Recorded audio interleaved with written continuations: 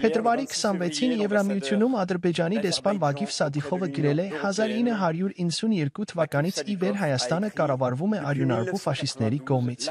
Նրանք ֆաշիստ են մնալու այնքան ժամանակ, քանի դեռ չեն հայտնվել Եռաբլուրում։ Եռաբլուրը հայկական զինվորական գերեզմանոցն է, որտեղ ադրբեջանական բռնությունները վերջին տարիներին դատապարտել են հազարավոր 20-ամյա երիտասարդների։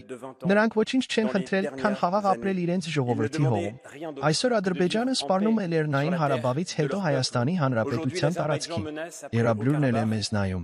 Եթե Ալիևն իրավասու է զգում, դա այն պատճառով է, որ խաղաղ բնակչությանը պաշարելուց, տեղահանումից եւ էթնիկ ստումներից հետո, ագրեսիայից, կասետային ռումբերից հետո Եվրահանձնաժողովը նրան հայտարարեց հուսալի գործընկերը ավելի շատ գազ գնեց։ Ինչու նա որևէ բանի իրավունք չի զգա։ Հարգելի գործընկերներ, ժամանակն է վերջապես գործելու եւ հասկանալու, որ Եվրոպան այլևս լրելու իրավունք չունի։ Ժամանակն է ասել պարոն Սաթիկովին, որ Եվրոպան Բաքվում չէ, որ այն ժողովրդավարության եւ ազատության, այն քաղաքակրթության կողմն է, որը մենք կիսում ենք Հայաստանի հետ, որ նա գտնվում է այն վայրում, որտեղ ես գնացել եմ եւ որտեղից ես նույնը չեմ վերադարձել։ Եվրոպան երաբլուրում է